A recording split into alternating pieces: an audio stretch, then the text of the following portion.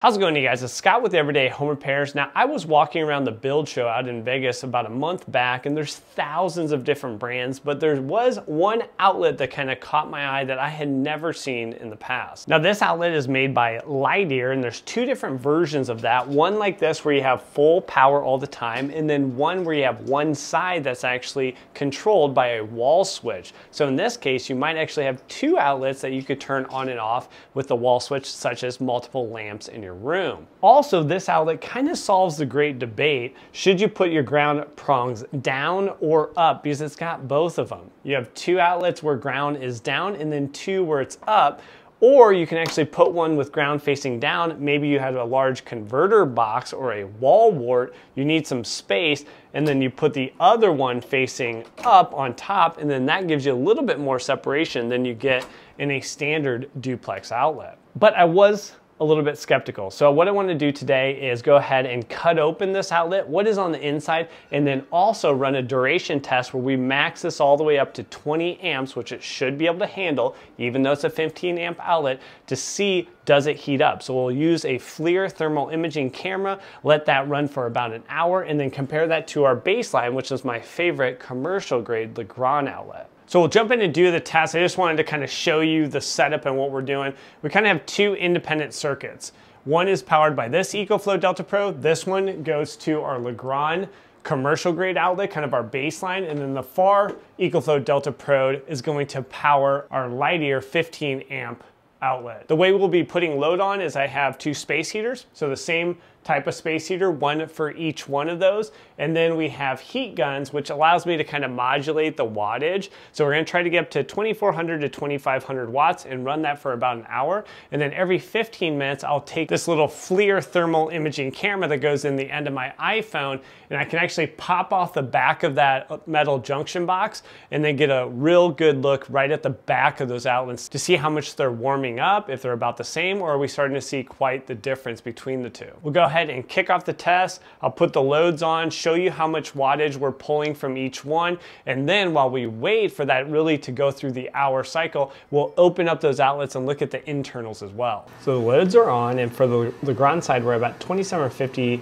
watts at 120 volts. That'd be right around 23 amps. And then the LIDER side, the test one that we're doing is 2550. That'd be about 21 amps.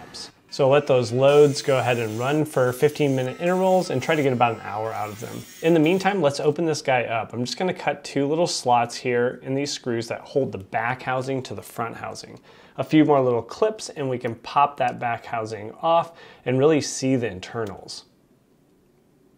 So looking inside, I can right away say this is a, a unique outlet. I've opened up quite a few different residential grade, a lot of commercial grades. Here's my favorite commercial grade. It's a Legrand 15 amp.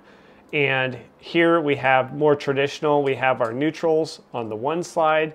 So you have two different slots for neutral. We have our hots on the other side, the two slots for your hot. We have a ground that goes to your yoke, and that would be your two different ground products. That's the traditional. This is a very nice outlet. I like this one in terms of its robust construction. This LIDER would be the, I would say the opposite of that.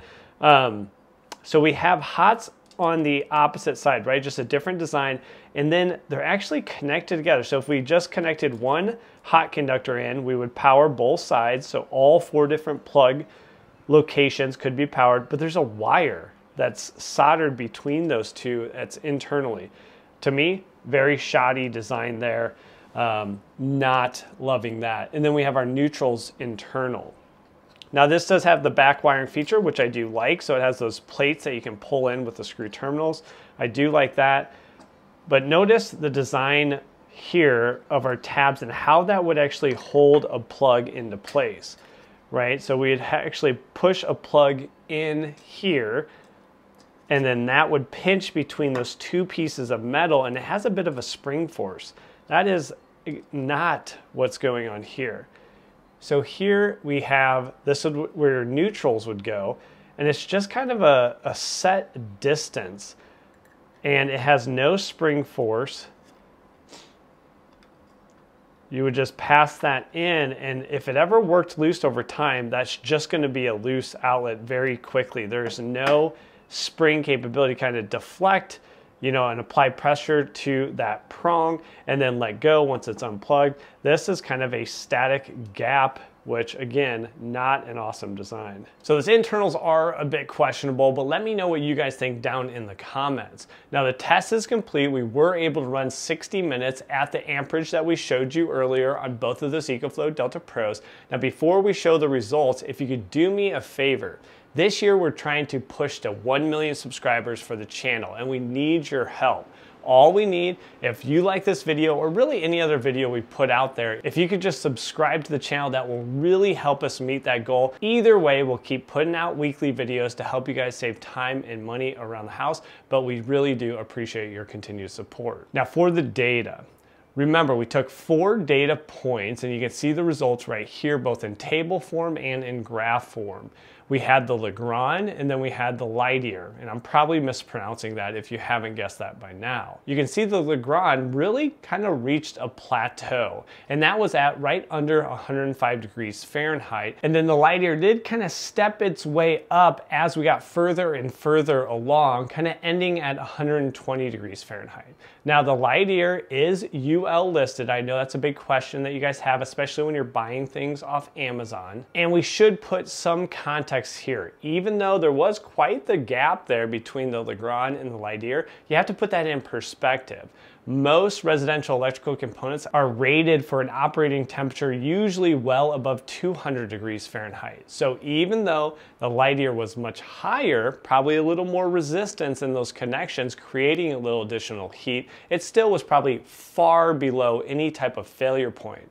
Now we already know the internals are a bit questionable in terms of how long will it hold on to your prongs and your plugs so your plugs aren't just starting to fall out after a few months of use. So additional heat is not gonna help that. That additional heat would probably lead to those set gaps kind of loosening up over time and now your outlet is kind of not functional. So although I would not recommend this outlet, I would not use it, I do give them credit for trying to push the designs in terms of what we have for residential electrical components components. Other companies like Wago with their 221 lever nut really push design and it's something I use all the time instead of just standard wire nuts. So if you want to dive deeper in that on Ideal versus Wago, check out this video right here. And then if you want to see what Leviton did with what's called their Decora Edge and gave us a new way to wire integrating levers there, you can check out this video right here and we'll dive into the complete details on this new product. So thanks for joining us on this video and we'll catch you on one of those next videos. Take care.